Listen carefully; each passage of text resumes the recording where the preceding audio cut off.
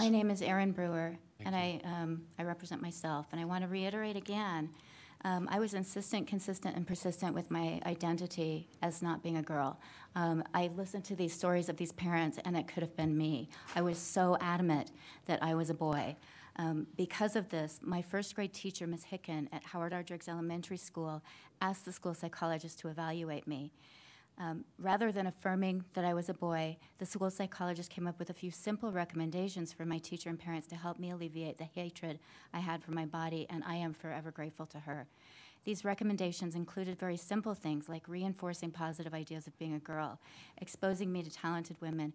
I was put in a group of children with behavior problems to learn better communication skills. Just like the kids you've heard described, I was angry. I was hitting my teachers. I was kicking other students. I was a behavior problem.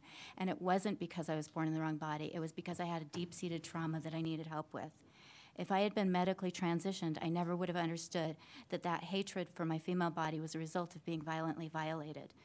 I am so thankful to the school psychologist for putting me on this healing path. And it just disturbs me to the core that any of these children think that we're up here trying to propose this legislation because we don't care about them. We're here because we love them.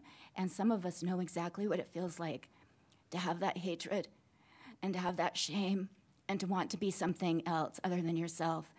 And we're here to tell you that you can survive yourself and you can make it into adulthood without damaging your healthy body and without basically killing who you are and becoming another person.